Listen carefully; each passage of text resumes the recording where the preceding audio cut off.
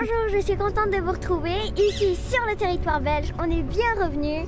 On a traversé toute l'Espagne et la France pour vous retrouver ici. Nous sommes aujourd'hui au cerf de Laeken. On vous emmène. Derrière moi, c'est le bâtiment des cerfs.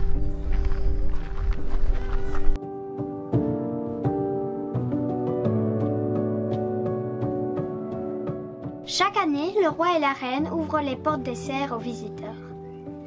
Elles ont été construites par l'architecte Alphonse Balla pour le roi Léopold II en 1873.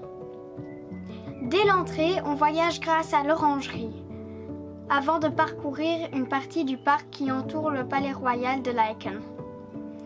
Ce palais est la résidence officielle de nos souverains.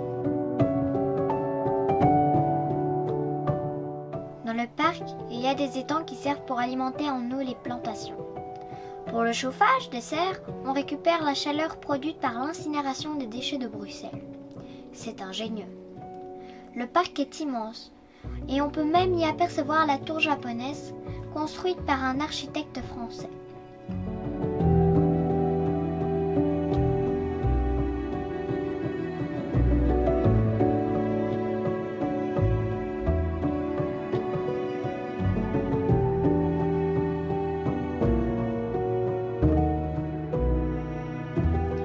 De retour dans les serres, on se croirait dans une forêt tropicale.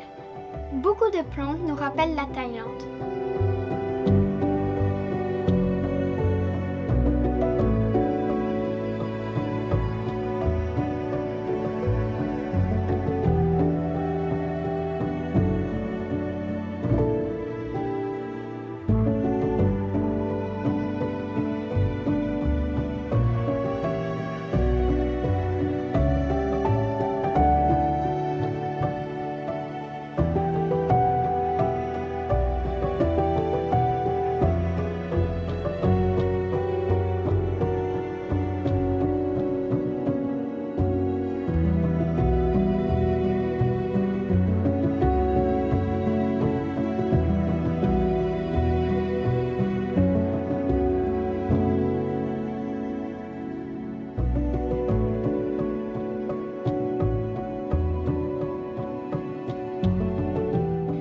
Galerie réservée aux géraniums, il y a plusieurs statues représentant la déesse de la chasse, Diane.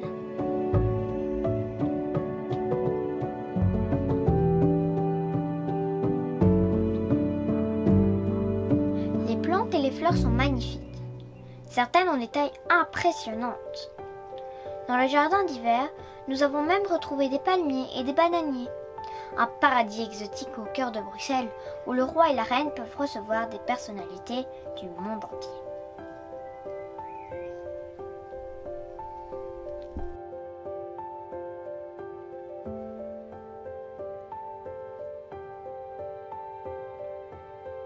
Au revoir, nous espérons que vous avez passé une agréable visite dans les serres du château de la Cannes. On se retrouvera le mois prochain dans les pays du Nord, mais on ne sait pas où. bye, bye